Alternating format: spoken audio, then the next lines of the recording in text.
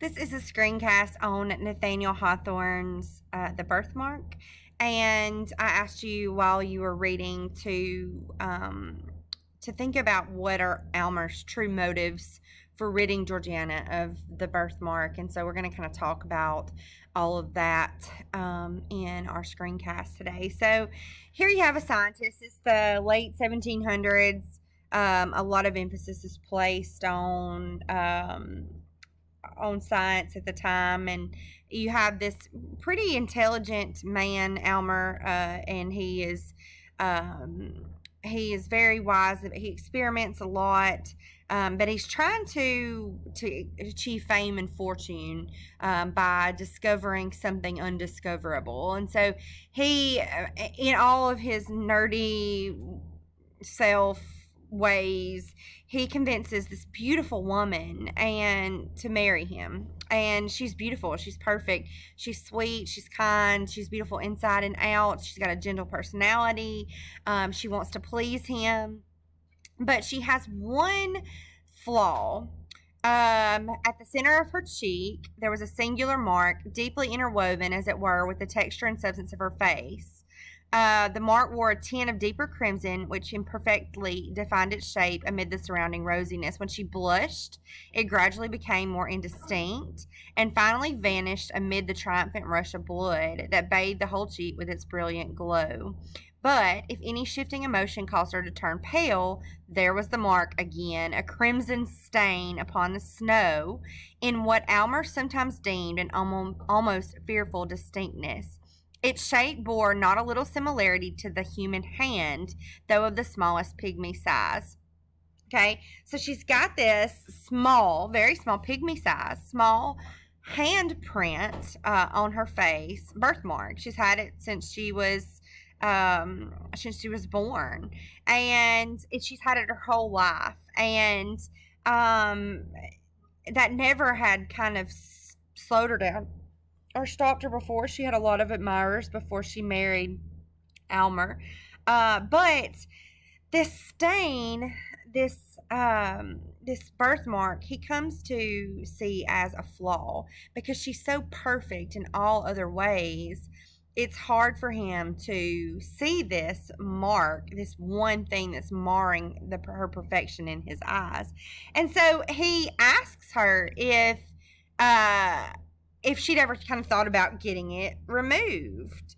And he said, uh, and she said, no, I knew, you know, I've never really considered having it taken from my face. And he says, he says, no, dearest Georgiana, you came so nearly perfect from the hand of nature that this slightest possible defect which we hesitate whether to defer, determine a defect or a beauty, shocks me as being the visible mark of earthly perfection. And this really hurts her feelings because here she was, she is in this marriage and she's 100% committed to it, and she kind of worships the ground he walks on. And he's just told her that this one thing about her shocks him and and it and it hurts her feelings on a whole a whole new level to him this is a flaw. It's a stain.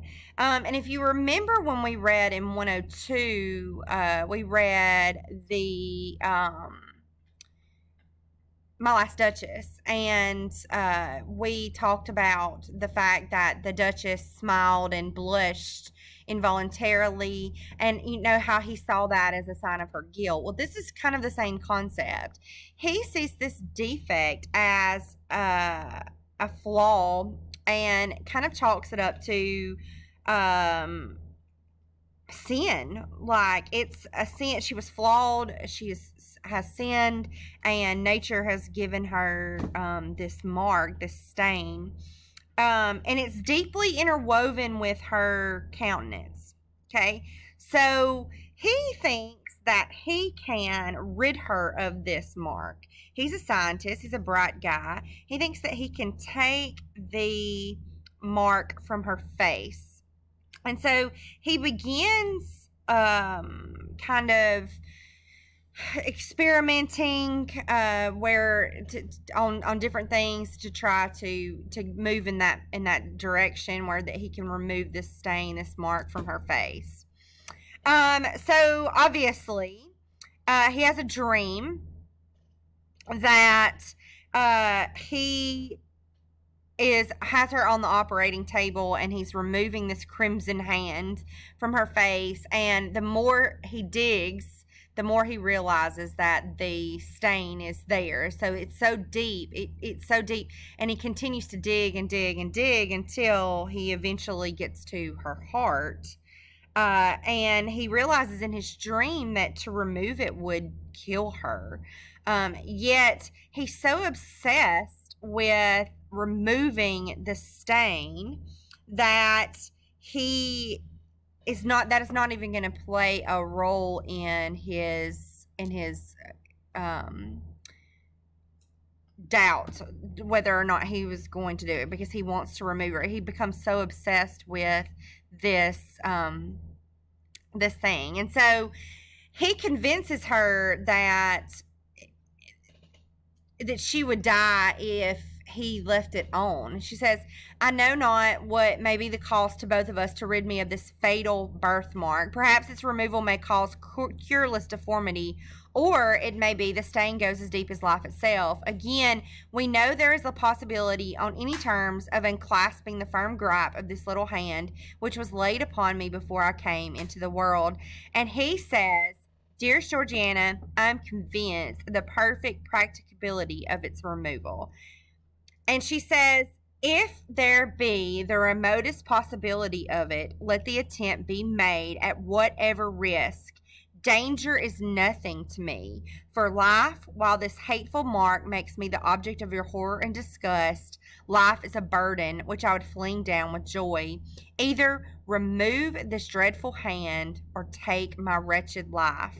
You have deep science, all the world bears witness of it. You have achieved great, great wonders. Cannot you remove this little mark, which I cover with the tips of two small fingers? That's how tiny it was, y'all. Is this beyond your power for the sake of your own peace and to save your poor wife from madness? So each of them are going through the struggle. His struggle is that he is he is so hell bent on removing it and, and in his ability to remove it that he has worried her to the point of I mean she's basically saying take it from my face and if it cannot be taken from my face just let me die just kill me so that you don't have to witness this horrible sin upon my face. So there's a lot of self deception going on. He has already failed at many other experiments. I mean, he's had some achievements, but he's not achieved at the level that she thinks that he has. And he is not God. He can't play God. Uh, that whole idea that science has its limits like where do you cross the line into you know you think about all the common topics of today like the hot button topics like gender uh, choosing genders of babies and all that kind of stuff um, cloning and transplants like human head transplants and all these people that are that are trying to do these extraordinary things. But in the end of the day there ha- science has its limits. You can't play god um, and so obviously, um, he um, he's completely convinced that he can do this, and um, so he takes her in to to give her to give her this surgery, and so he succeeds in removing the imperfection. He removes it from her face, but in the process, just like in his dream, uh, he kills her. Um, he, it is too deep, and he continues to try to dig it out. She drinks the, uh, she drinks a liquid, uh, a poison essentially, uh, and so she drinks this poison uh, that he tells her will remove her from her, um, remove the stain from her cheek. Uh, and so the crimson hand, which at first had been strongly visible upon the marble paleness of Georgiana's cheek, now grew more faintly outlined. She remained not less pale than ever, but the birthmark, with every breath that remained uh, that came and went, lost somewhat of its former distinctness. Its presence had been awful, its departure was more awful still. Watch the stain of rainbow fading out of the sky, and you will know how that mysterious symbol passed away. By heaven, it is well now gone, said Aylmer to himself. I can scarcely trace it now. Success, success. And now it is like the faintest rose color. The slightest flush of blood across her cheek would overcome it, but she is so pale.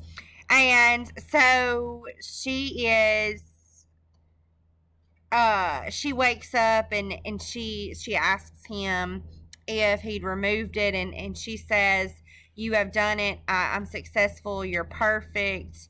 Uh and then she dies um because the poison kills her. So how what are what are we looking at here? Is his true motive because he wanted his wife to be perfect and wanted her to be beautiful for her sake?